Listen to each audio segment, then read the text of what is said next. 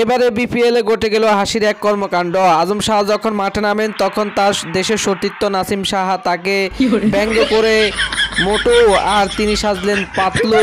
ক্রিকেটের এই ধরনের মজার ভিডিও পাওয়ার জন্য পেজটি ফলো চ্যানেলটি সাবস্ক্রাইব করে ভিডিওতে একটা লাইক দিয়ে পাশে থাকুন। সবাইকে ধন্যবাদ। আল্লাহ হাফেজ।